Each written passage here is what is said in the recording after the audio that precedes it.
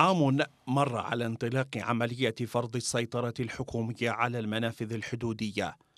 هيئة المنافذ أعلنت في بيان صدر مؤخرا عن إنجاز 80% من خطط الأداء الحكومي لتقويم عمل المنافذ وفرض هيبة الدولة فيها.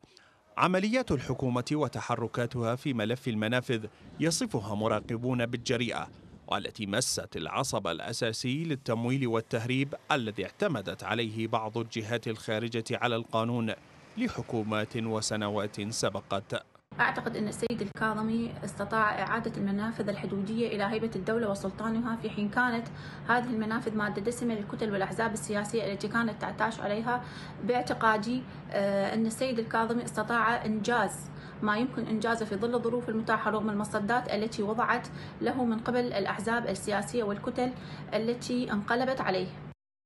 وذكرت هيئة المنافذ إن الإيرادات المتحققة من المنافذ خلال عام شهدت ارتفاعا بنسبة 90% لكن قوى سياسية منها تحالف الفتح يشككون فيما تحقق من عمليات الحكومة في السيطرة على المنافذ في مقابل تشكيك محللين من بقاء سطوة الأحزاب والجماعات المسلحة قائمة في الهيمنة على المنافذ ومقدراتها. كان الأصل في مسك المنافذ هو زيادة إيرادات الدولة العراقية والسيطرة على الأسواق والسيطرة على البضائع لحد هذه اللحظة لا زالت هناك كثير من البضائع المتسربة تدخل إلى البلاد ولا زال هنالك عدم سيطرة على المنافذ وبقية الموارد دون المستوى الصرف إطلاقا. هذا بعيد عن الحقيقة والواقع بدليل أن أكثر المسؤولين وأكثر النواب يصرحون أن أغلب هذه المنافذ لا زالت هي غير خاضعة لسيطرة الدولة والكثير من المواد الإكسباير ديت والتهريب لا زال قائما خلال, خلال هذه المنافذ. تقرير هيئة المنافذ أوضح ضبط قرابة 2500 مخالفة بين تهريب وتزوير ومخدرات فضلا عن تحقيق إنجازات فاقت السبعين في المئة بمجال فرض القانون والإصلاح الإداري ونقل العناصر الفاسدة خارج المنافذ. فيما يؤكد مراقبون أن معركة المنافذ لن تنتهي كونها واحدة من أهم مصادر التمويل للجماعات المسلحة والتهريب من وإلى دول الجوار.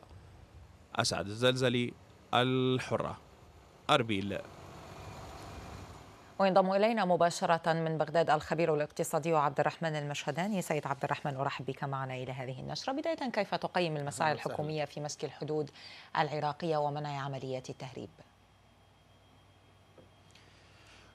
يعني الخطوات اللي اتخذتها هيئة المنافذ الحدودية والدعم السيد رئيس الوزراء يعني اتضحت معالمها من خلال تضاعف الإيرادات لهيئة المنافذ الحدودية واللي هذا يعلن بشكل رسمي.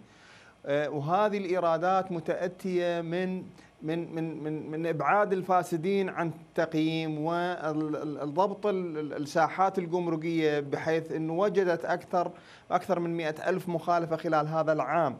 يعني فهذا هذا الجزء الإيجابي في هذا الموضوع الذي أدى إلى تضاعف الايرادات الجمركية. لكن سؤال حضرتك هل استطاعت هيئه المنافذ الحدودية أن تسيطر بشكل كامل وتبعد. يعني نف...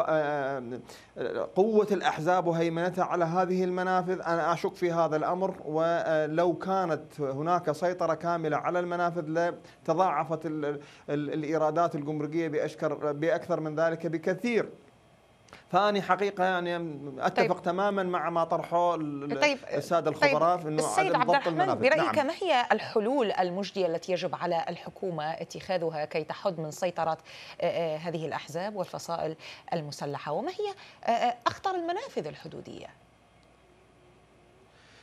كل المنافذ الحدودية تحمل نفس الأهمية هذا اولا اثنين الخطورة الأكبر أنه المنافذ في إقليم كردستان لا تتبع ولا تطبق ما تطبقه المنافذ الأخرى.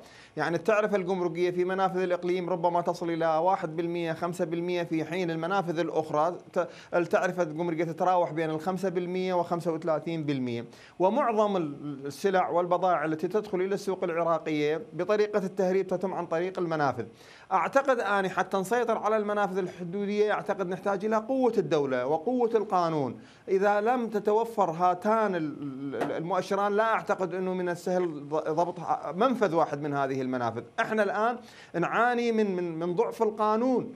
ومن ضعف قوة الدولة. يعني السيد الكاظمي أرسل قوات مكافحة الإرهاب إلى المنافذ الحدودية لكن ماذا ستعمل قوات مكافحة الإرهاب؟ الموضوع ليس لمدة يوم أو أسبوع أو شهر يحتاج إلى تواجد فعلي ويحتاج إلى إلى تدريب فاعل وربط شبكات الإنترنت مع هذه المنافذ وسيطرة مركزية من بغداد. وقبل هذا كله يتم السيطرة على على الاستيراد من خلال نافذة العملة. يعني يفترض أن يتحاسب ضريبيا ويتحاسب جمركيا آه، على أساس التحويل ثم بعد ذلك تتم المقاصة. هذا هذا ممكن أن يوفر جزء جزء من من الضبط. الجزء اللي يخص الأحزاب أنا أعتقد من الصعب جدا السيطرة عليه خلال المرحلة الحالية. شكرا نعم. جزيلا لك كنت معنا مباشرة من بغداد الخبير الاقتصادي عبد الرحمن المشهداني ممتنا كثيرا لك على الحضور